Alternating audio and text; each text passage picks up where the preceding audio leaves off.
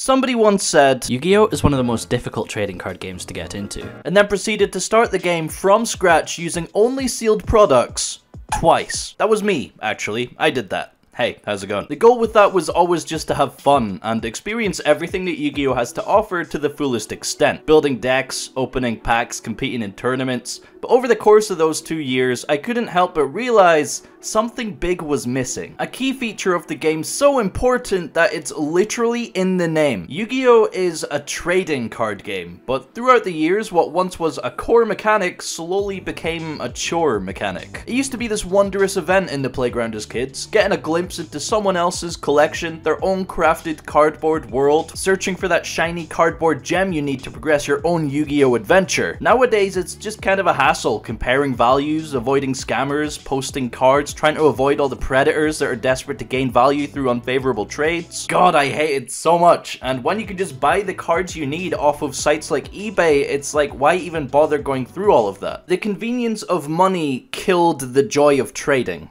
but I want to bring that joy back. If we want the purest Yu-Gi-Oh experience possible, we're gonna need to start from scratch again and lock our progress not only to sealed products, but this time to trading with fellow duelists as well. This is how Konami originally intended for people to play their game. They literally have an entire page about it on their website, so you could say we're now officially playing Yu-Gi-Oh! properly.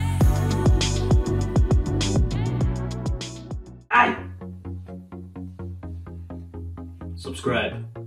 Once again, we find ourselves at humble beginnings, and I don't know what it is, but there's always just something so exciting about starting from scratch. You know, picking up a new deck for the first time and not knowing exactly where your adventure is going to take you, it really just hits a spot for me. So when it comes to Yu-Gi-Oh, it's obviously no secret that the greatest starting point is, of course, three of the same structure deck. Anyone will tell you that. Heck, I'm pretty sure even Konami tells you that in one of their beginner guides, and coincidentally, they just recently printed one of the greatest structure deck products of all time. So our starting point for this brand new journey is three copies of the structure deck Albaz Strike, and then from there we'll start spending £20 a week on sealed product, and then hopefully make some trades each week, blah blah blah blah blah. I would like to say that uh, starting off with three structure decks, we don't really have much trade bait in here, but we don't use half of the cards. Like, even Pot of Extravagance in here, like, isn't necessary for the deck because you do use the extra deck, so we could potentially trade away the Extravagance for uh, better cards, and I still don't know where we're going to take this. There's so many different ways. Like, we could go pure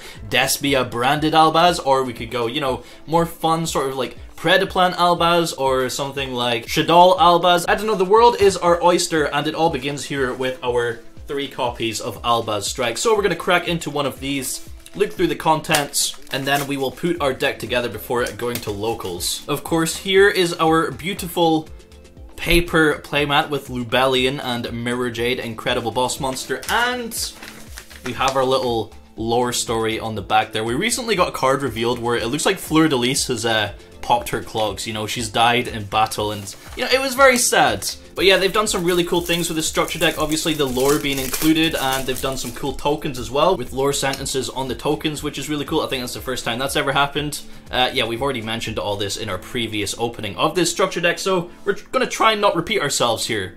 We do, of course, have advertisement, advertisement. Uh, oh, nope, that's a Luber. All right, so we have a Tri Brigade, a little golden bird. That's our negate. Springans Kitt, searches branded fusion, amazing card. Uh, the golden sword. So we have Mirror Jade, our boss monster, potentially even just the boss monster of the format. This thing is crazy. I don't know why it's a soft once per turn. Uh, yeah, amazing. Lubellion, branded fusion, just again like the card of the format. It's actually insane. Branded Sword, Retribution, Counter Trap, kind of awkward to use sometimes. Fallen of Albaz in common. Originally came in Secret Rare from Rise of the Duelist, reprinted as an Ultra in the tins. Now we have a common Albion the Shrouded Dragon, Fleur de Lis, Red MD, Thunder King, we got some Kaijus, Chaos Dragon, Levianeer, some good going first cards, some good going second cards, some good Chaos cards, just all round good cards in general. Artifact Scythe, Really dumb card, but you know, we can actually use this to our advantage. Our little Dragon Link package here, Triple Seyfert, is really cool. But uh, like I said before in previous videos, you don't really use the Dragon Link package in this deck. So right off the bat, we either have the means to build a Dragon Link deck, or we actually have some trade bait to, you know, trade away for some probably cheap cards in return. We have Keeper of Dragon Magic here, Summoner Monk, Ghost Ogre. We got some hand traps, really good this format against the Adventure Engine. Brotar, branded lost, amazing card, very underrated, was played as a one-of in the YCS Bogota winning list, but in the structure deck we definitely play three. I've seen so many people just not play this card or not care about this card or play one of this card. Dude, you play three. It's actually broken. Branded and white, branded bond, we got fusion gate, some fusion cards here. Gold Sark, very good card in this deck because it's basically just a Rota. Ooh, is this the most expensive card in the structure deck? I'm not actually sure, but Pot of Extravagance, amazing reprint. Called by the Grave, Dark Ruler no more, just, ah, it's actually insane, dude. Such a good starting point. Screams of the Branded, Judgment of the Branded, Necrofusion back to the front as well. That's how we get our Scythe out. Warning Point, there can be only one. D-Barrier, also very good this format against Despia, like potentially one of the best, well, it is basically the best deck of the format right now. Waken the Dragon, we got Titaniklad, all of our extra deck monsters, and of course, our five tokens. The artworks on these is incredible. Such a good inclusion. I wish they were holofoil, but uh, at least we got them, you know? So yeah, very, very strong deck. This thing is actually capable of, well, I mean, not one copy, but when you put three of these together, you're actually capable of putting out six interruptions with a god hand, of course. So that is the contents of one structure deck. I'm now gonna crack open these other two and we can put our three copies together, come out the other end with a nice deck list.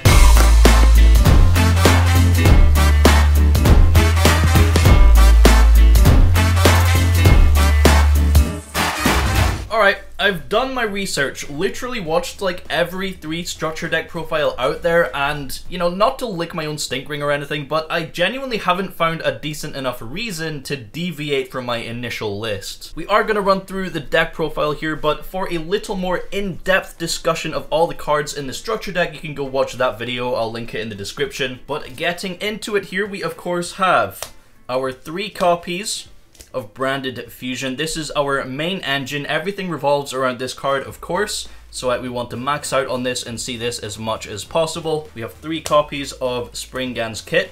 She, of course, searches for the Branded Fusion and then places one card from your hand to the bottom of the deck. Three copies of Keeper of Dragon Magic. Discard one, search for the Branded Fusion. And then we have Gold Sarcophagus, which can banish the little bird to search for Springans Kitt, which then once again normal summons to search the Branded Fusion. So that is 10 starters in our deck that sort of gets the ball rolling for our engine there. We then have three Pot of Extravagance. We want to see this card because we don't require our entire extra deck. However, you can get unlucky and banish like three Mirror Jade, which, you know, kinda just instantly loses the game right there. It's a game of chance. We like to gamble. Pot of Extravagance, seeing that card advantage gets you to the Branded Fusion. It is a consistency card, so we want to play three of these. As well, as three Albion the Shrouded Dragon.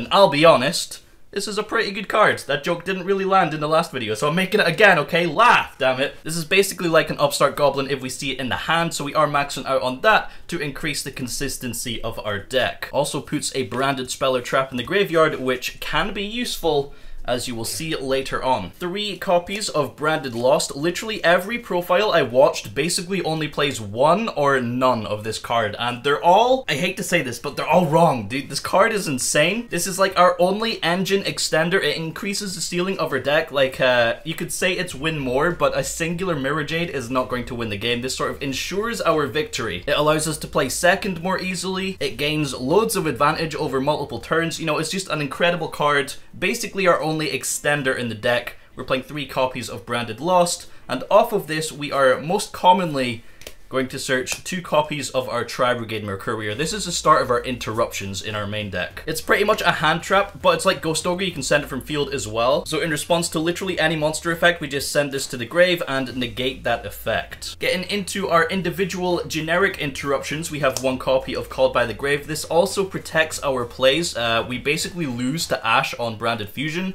so uh, we really want to see Called by the Grave if we're trying to resolve Branded Fusion. If we don't need to protect ourselves from hand traps, then, you know, it's a good interruption against our opponent.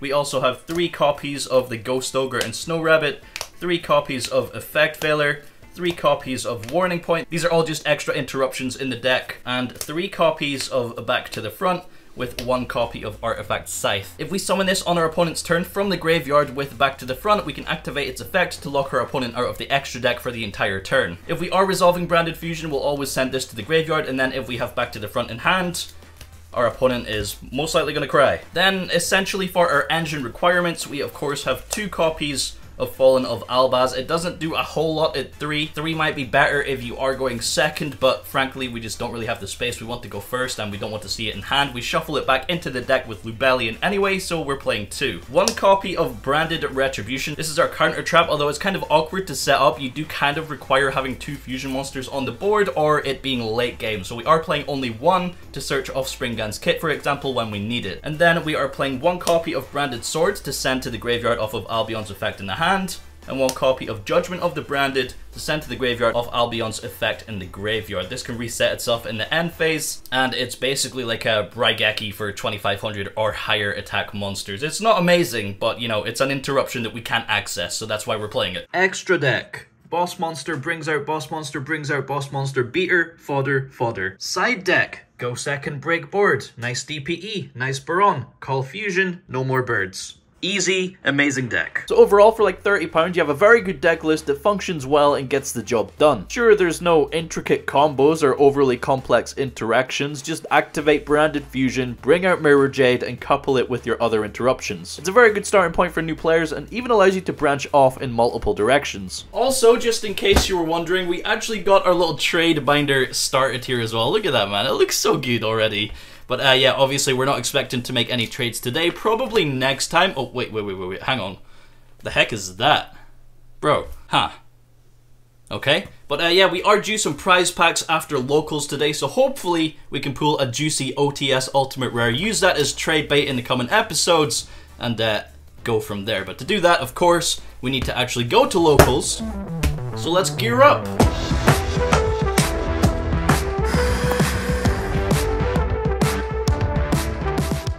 Welcome to Reset, home of Yu-Gi-Oh! in Aberdeen. When the pandemic first started, I had to give up the locals that I was personally running, but our local gaming cafe took the reins for the Yu-Gi-Oh! scene, and over the course of the last three years, the Aberdeen scene, which was once dwindling, has like at least doubled in size. What used to be a pathetic three-round locals in a random bar has now evolved to consistent five-round locals every week here at the shop. It's a great place with great people, but most importantly, it's gonna be great content. So with that being said, it's time to duel. Now, for the sake of time in this series, we're going to have one live match every episode, and then we'll sum up the rest of the rounds in that locals. However, if you do want to see the play-by-play -play for every round, instead of just wasting the footage, I will be uploading the full matches over on Patreon. YouTube channel members will also be able to get access to these, but regardless, let's get into it. Round 1, we played against Jerry's True Draco Dogmatika Eldritch deck. With literally no back row provided in the structure deck, I thought, you know, this would be a huge issue, but then I realized Mirror Jade doesn't really care about Eldritch. Jerry did unfortunately play into his own restrictions a couple of times, so we did take the dub 2-0, even getting a kill with the branded sword tokens in game 1. Moving on to round 2, we're up against Chris's branded Tri Brigade. We unfortunately did lose here, but we didn't lose to Tri Brigade, no no no, we lost to our own Pot of Extravagance. Oh, are you serious? Oh, that's an instant loss. Oh my god. Uh, does that resolve? Yeah, that resolves. Got to. Oh my god. They, oh my god. This is horrible. Three Mirror Jade banished, two bricks drawn. Sound. Round 3, losing the die roll to Calby's Orcust Eldritch proved to be a little bit of an issue. He kept setting up Crescendo to stop Branded Fusion, but we did get him in game 2, and then he bricked game 3, so we took the dub 2-1. Round 4, surprisingly, we're actually against another Orcust Eldritch, this time piloted by Callum. How are we getting so many Eldritch matchups, man? With no back row removal, Riddle me this. Thankfully though, we do manage to get the swift 2-0 sweep. So we are currently 3-1 at this locals going into round 5 at table 1. If we win this, we probably win locals, which would make this a very short series. I don't know how I feel about that, it just goes to show how strong this structure deck is, but we win the die roll against Leo's Despia branded Adventurer DPE deck. My guy is pretty much playing a house deposit at this point. Extra. That's fine. Uh, any response? No, it's fine. Activate That's fine. Do you know what all the cards do? Basically, the more obscure ones. So he searches Albaz on a monster. Yes. Yeah. Does it affect okay? Yeah, yeah, Kitt. Awesome Kitt. Kid's fine. I'm sending a message to you boys back home. place this on the board. Activate Branded Lost. That's fine. That's fine. Uh, Scythe and Albus. No wonder you're getting away with structure. Like fucking Scythe, I forgot about that. Yeah, fuse Albion, chain one Albion, chain two Branded Lost to search. That's fine. search Kitt. One plus a Dark. From Lubellion. Activate effect, take cost, discard Albion. That's fine. Five minutes to think of Rage, uh, Albion effect, take cost. Send sword for cost. Would you like to bell me Albion? I mean, it's tempting, but no, go on. Um, place on the bottom. I will let you go. Uh, activate sword, target Mercourier. Yep. And back to the bird. Keep saying, oh, welcome to the walls. No, it doesn't. He says it doesn't. Faster. Draw. Draw standby. Let's go. Adventure. Ooh, you have the engine. Every time I play against Adventure, they always open Fatal. They Yeah. always open the bricks. I was gonna say you just made me open bricks. I hate you. Fuck you. Effect to uh, search. I. Yeah, well, fuck you too. Let's try Alribo effect. Oh shit. Chain one. That's actually a bit insane. Because that actually, wow, that cucks me. Good job. Go. Branded fusion anyway. just outscared you, you know, like, what the fuck are you gonna do? That's fine. Albaz. The secret rare first dance. Yeah, well, it only comes in first dance. Yeah, true. Fucking weird. Tragedy. Lubellion. Thinking on chaining. Mm-hmm. One Lubellion, pitch retribution as cost, two tragedy. Tragedy searches, right? Yes, uh, Despia monster. Chain. Sanding. Okay. Banish. Then resolve tragedy. Uh, Lubellion. Okay. Then resolve Lubellion. Shuffle back Albaz and himself. Oh, fuck. I threw because I'm not allowed to win, okay? Shut. Wait, can I still attack with Arabo? Uh, no. What the fuck? Card's actually cracked. No. Common charity will never be the same. So, do you want to see you getting super outscared? Fusion doesn't. Actually, fuck off. DPE. Christ. I'll go Mirror Jade effect. I will chain her negate. Bardo. Sure. Shall we just go Mirror Jade into your Mirror Jade? So you take 400. That's fine. So 25 into 21. DP I think. sure. So Alba and Ross I should have said, but you know, I assume. Main phase 2, end of main 2. Mm-hmm. End phase, so just Albion. So as soon as I resolve this, because I have nothing else to resolve. Mirror Jade no. Yeah, and then on resolution I'll go Albion. Okay, And you set Branded in red. yes. How many cards in hand? Two. Two. Condemnation. Draw for turn. Yes. Standby phase. Resolve DP. If you draw them, black and Albaz, Dark Monster. On the summon, Yep. activate Lubellion, pay cost, discard Kitt. Albaz, I'll be on. I'll be honest. Pretty good card. Go to bed. Yeah, I'm actually gonna DP. Chain first. Then Brigrand, Brigrand for cost. Fuck it, chicken strip. Chaining 3, Branded in red. Targeting tragedy. Chain Retribution, pay cost. I'll be on. And Mirror Jade from the grave. Okay. Uh, banish. Uh, I'll go Battles. I'll take uh, no one. I'll take one. I guess I'll activate the Raigeki. Time to go end phase, if that's cool. Yeah, that's fine. Activate Judgment. Resolution, regret. Search a Tri Brigade card. Yeah, that's fine. Can I double check? Sorry, screams. What's up? Draw. Draw standby. You're fine. Main phase. Yes. Arubo. Arubo effect. Uh, I can't allow you to get to Brand Fusion, so I have to chain. I don't even know if that's correct or not. Retribution effect. Target fusion.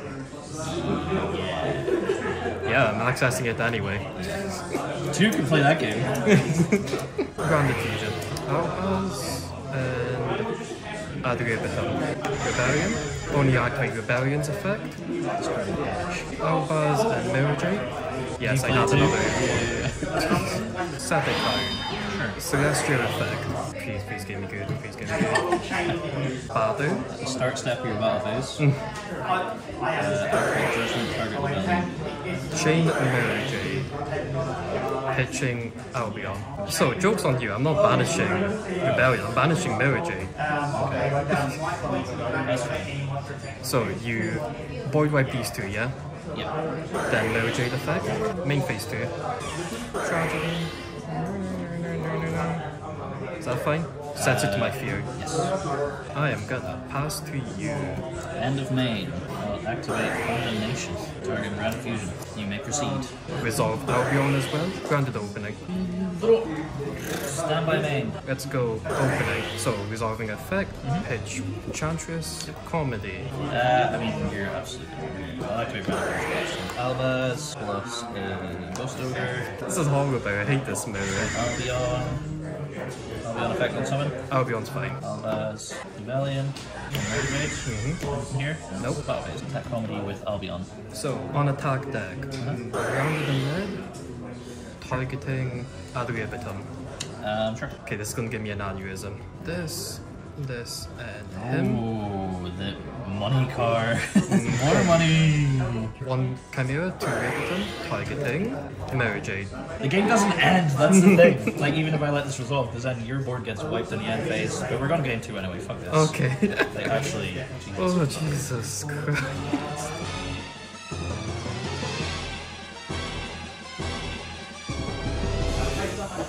Bingo bango. Wow. Activate Albion. And it's. Send. Or oh, use them from hand. You have to. Set your best. Fantastic. Draw for turn, draw standby. Yeah. Battle. End of battle, because I don't think I'm gonna ac- get to activate elsewhere. That is fine by me. Adventure. Again? Yeah, you fucking keep making me draw. You are the only person I've drawn this against. Dizzy. I'm so scared. Well, that would do it. That'll do it. That would do it. I don't even think I'm pass. ready for this matchup. Draw for turn. Mm-hmm. You're kidding me. Crazy. Activate Albion. That's fine.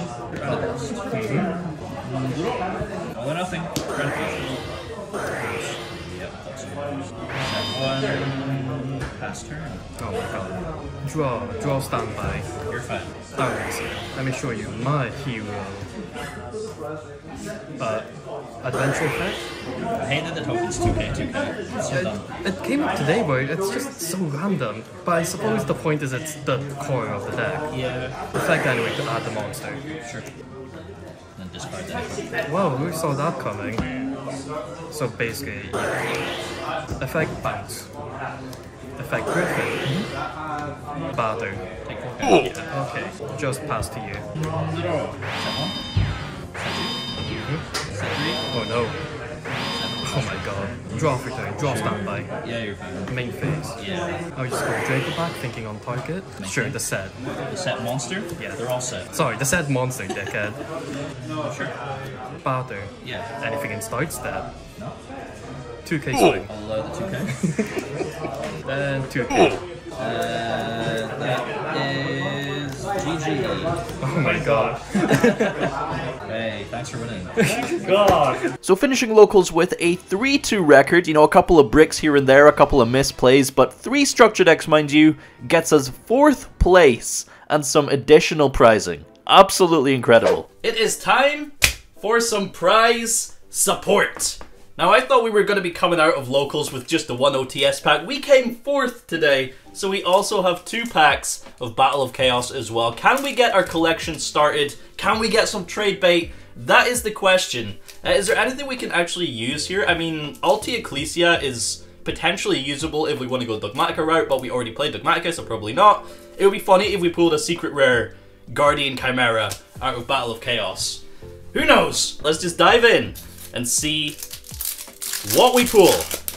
We have Rock Scales, Neiroy the Dream Mirror Traitor, Ghostrick Siren, Skilled Brown Magician, and our first Hollow. Oh, is Ice Jade Creation Kingfisher. I don't think anyone is wanting this shit. So, uh, yep. First pack is a dud. We got Ghost Trick or Treat, Imprudent, Groza, and S Force. Moving on to our second pack of Battle of chaos here. We'll pop four to the front. We'll get a little jiggy with it. Let's see. We have Flower Dino with that flower on his butthole there, his little flower bussy. We got Mutant Mutant, the great double casted caster, Smoke Mosquito. Dinomorphia Shell, Did It a Headhunt, Kaiser, Maple Maiden, and we have a, we got an Ultra. Yo, DDD, Deviser King, Deus Machinex. Let's go. That's actually a good pool. Uh, a lot of people played, this is actually played in the DDD deck, so people might actually want this. Yo, we have trade bait. We have something for our binder. Yes, that's so cool. Now, for the moment we have been waiting for, the OTS 18 pack. Can we pull an ultimate rare? The odds are very, very slim, but can you imagine? Also, I think there's some good super rares in here as well. We have Destiny Hero Celestial, Ghost Angel of Mischief, and we have, ooh, yo, super rare Contact C. This is actually, some people are actually playing this right now. Uh, this is a decent card. We could actually play this, which is funny, but we could also trade this away. So we actually got some good pools in terms of trade baits here. Celestial, Angel of Mischief. I, I, am not complaining. Those are definitely some cards. We've officially got our trade binder started, but how is trading gonna work? What deck build are we gonna go for? You're just gonna have to wait and see.